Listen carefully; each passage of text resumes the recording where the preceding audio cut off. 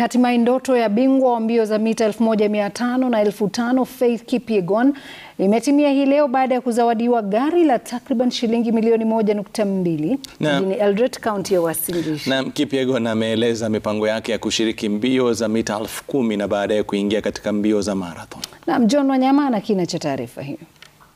Ilikuwa furaha ya aina yake baada ya babake mwanariadha Faith Kipyegon kuzawadiwa gari na mkurugenzi wa kampuni ya Rana. Faith alikuwa ameahidi kuwa atamnunulia babake gari iwapo angevunja rekodi ya dunia ya mbio za mita 1500. Imagine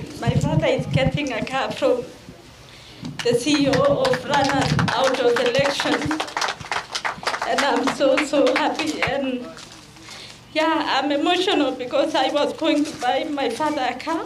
Ah, kubwa sana, hata mimi namwambia Mwenyezi Mungu tena ipatie bei, Mwenyezi Mungu achunge yeye sana. Faith aliyeshindwa kujizuia machozi ya furaha alipokuwa akizungumza, Yeah, I don't know what to say. I'm just amesema leo ni siku muhimu sana, kwani babake amepata gari alilomwahidi.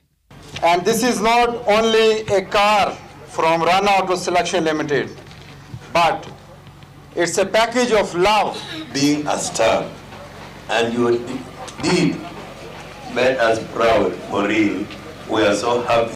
Na je, mipango yake ni ipi? and I can say going forward, I'm seeing myself in marathon in future, but now I'm graduating slowly, slowly towards 10,000, uh, towards 5,000 first and then 10,000.